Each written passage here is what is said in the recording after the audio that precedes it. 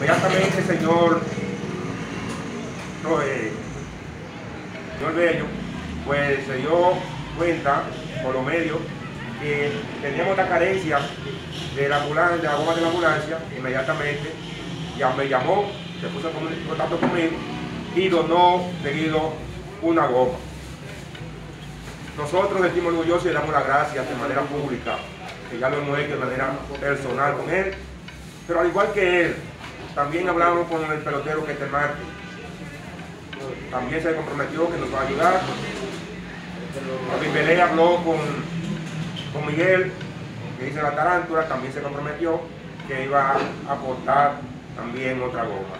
El ayuntamiento, a través del tesorero Wellington de los Santos, también nos va, a, ayudar con 20 mil pesos para completar los 36 mil pesos que cuesta las 6 gomas de la ambulancia.